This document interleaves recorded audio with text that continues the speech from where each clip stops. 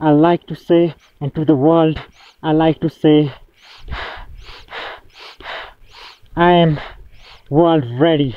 I like to repeat it again from the world highest peak Mount Everest. I am world ready.